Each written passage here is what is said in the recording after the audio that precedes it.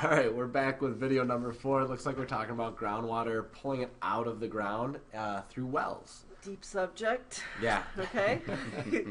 so make sure to pause, check out the learning targets, get ready to take your notes however you're taking them, and uh, let's start. Alrighty. So let's start with just a, a basic definition.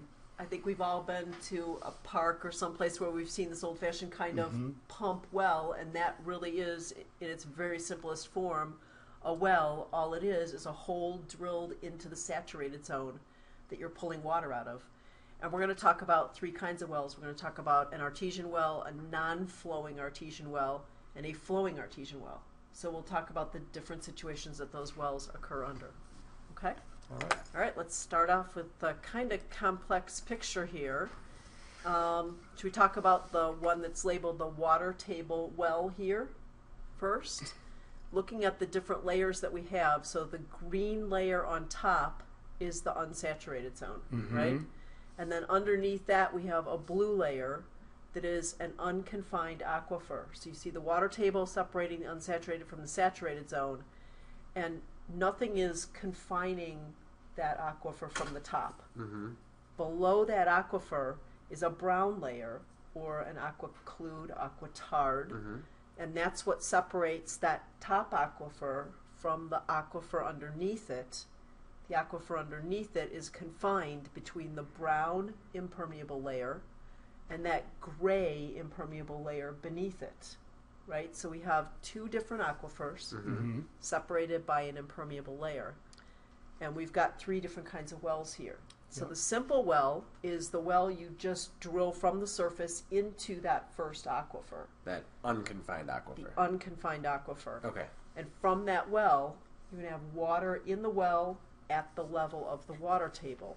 And so to get that water out, you'd have to pump that up towards the top. Exactly. Because it's not under pressure, it's not getting pushed up, it's just where the line of the water table Right. is. So you got to use that pump or an electric pump, some sort of pumping system to extract water from that well. And that water table for the unconfined aquifer is just outlined in that blue that we can see there. And you can see the water level in the well itself of the ordinary well or the water table well. You can Right. see that there. And that water table isn't always going to be at the same level. Mm-hmm. Right? It's going to be recharge or there's going to be discharge. So that water table is going to go up and down. All right? Because it's unconfined. There's nothing stopping it on that upper part at all. So most of the recharge for this aquifer is going to be from the surface. It's going to be from precipitation, and thus you have that fluctuation from dry to rainy season.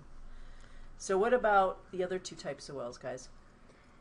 Well, we have our we have our confined aquifer, and if you notice, it's kind of on this like slope. Mm-hmm. All right, and if you see that, we have a hydraulic gradient there. Mm-hmm. All right, and I think a lot of the stuff from Darcy's Law from a couple videos ago are going to come into play here because there's pressure in there.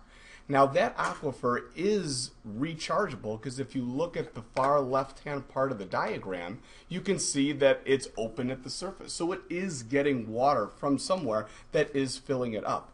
But if you notice down here at the base of what we're going to call this flowing artesian well, right? If you notice this dashed line that's above here, that's kind of this like pressure surface that we call that. It's kind of where the water table would be because of the pressure that it's under. And because the top of this well is below this line, and with all the pressure on the water, it actually forces water out of the well. Um, So, So water flowing in the recharge area, because of the slope, it's pushing down, and that well is there, so it's actually pushing the water out Exactly. Of a, an area where there's low pressure. It's pushing it right out, and the water Exactly. will flow out freely. You don't have to pump it out. Nope. It's just going to flow out onto the surface. Okay. So now, if you go further towards the right, we've got the same sort of setup. So we're drilling through that unconfined aquifer, through the confining unit, so like that impermeable layer, mm-hmm. and getting again into that confined aquifer. Okay. But this time, it's a little bit different because the land surface where the top of the well is is above where like the water table would be if that wasn't confined. Okay. So this one, the water's getting pushed up from that bottom aquifer all the way up towards that dashed line. Mm-hmm. But now we're gonna have to do a little pumping to get it all the way up. Okay. Okay. But like, is any of that water from that unconfined aquifer? Like, does that get mixed in with the confined aquifer? No, it's separated by that unconfined, or by the confined layer, by that Mm-hmm. aquitard layer, right? Okay. So we're looking at the picture, and there are three different wells, and there must be an advantage to having wells drilled into different aquifers, because when you're drilling a well, you're typically paying to drill by the foot. Mm-hmm. Sure. So why would you want to drill a deeper well if you didn't have to? And there are lots of reasons why that might be the case, and we'll be talking about some of those in class. But we need to understand that there are these different types of wells. So I think we're going to look at them a little bit more On the deeply slide. on the Yeah. next slide. Should we take a look at that? Yeah.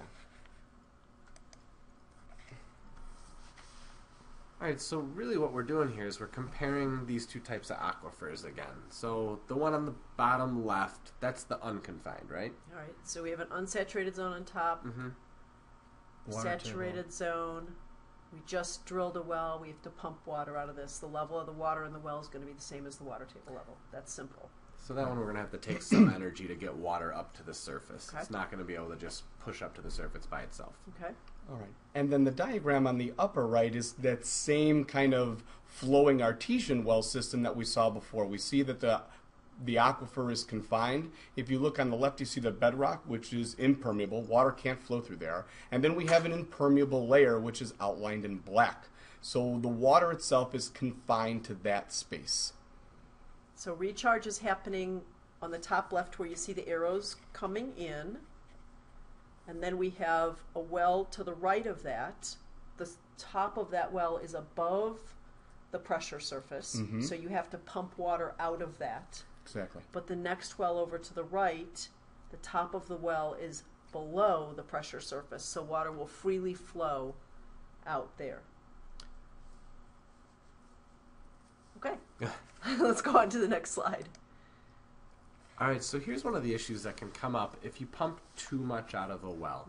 I always think about milkshakes when I think about this Mm-hmm. Yeah, one. I do so too. when I drink a milkshake, as I'm sucking out the straw, or sucking the milkshake, around the straw it like dips down a little bit. Why is that? Well, it starts to depress a little bit. Not like it's getting sad. Um, it's based. that was terrible. Yeah, it was really bad. Um, but as you start drinking out of it or pulling from the well, you've got all this pressure where you're basically depressing the water table. Okay. So you're moving it down, and the closer to the well you are, the more it's going to get sucked down towards the bottom of the well. So I'm guessing you're extracting the milkshake faster than the milkshake can flow in to fill it in. Mhm. And the same thing with this cone of depression. If you're pumping out at a high rate, you're pulling water out faster than the recharge is through the aquifer Mhm. to keep the water table at the same level. And you get that depression, and it makes it look like a V here, but remember it's three dimensional, so Yeah. it really is Yeah. all the way around 360 degrees around that well. Mm-hmm. Okay. All right, I think we're talking about our last slide here. This is Yeah. actually how um, artesian wells are really, or sorry, artesian, yeah, artesian wells are similar to what happens when we have a water tower. Yeah. Yeah. And we see those all over the place. They're very common. We have one right down Dempster, um, and we have them up along Northwest Highway for all the communities there. And that's how we actually provide pressure in all of the pipes to provide us water. So we're not just storing the water there because it's a convenient tank to store it in. There's No. actually a purpose to raising the water up higher Sure. and creating that pressure to make the water flow through the system. So it's like we're taking the water table and we're kind of moving it up above where we want it to flow out. So then that way, if we move it up, all we have to do is have a pipe that comes to our drinking fountain. You open up the drinking fountain and it sprays out. So we don't need a pump on everything. Yeah. Otherwise, we would need a pump on everything. Exactly. Okay, mm-hmm. cool.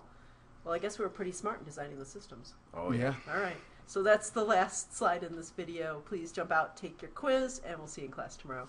Bye, guys. Right.